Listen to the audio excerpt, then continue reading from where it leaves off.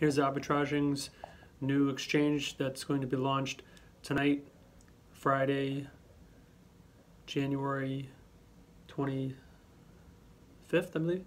Um, the exchange has been down, and the, the biggest change uh, is the block is being replaced by a timer, and says it's like the similar to the previous exchange where um, buys can be made on the lower side placed and sells can be placed with a 3% bonus above the market price.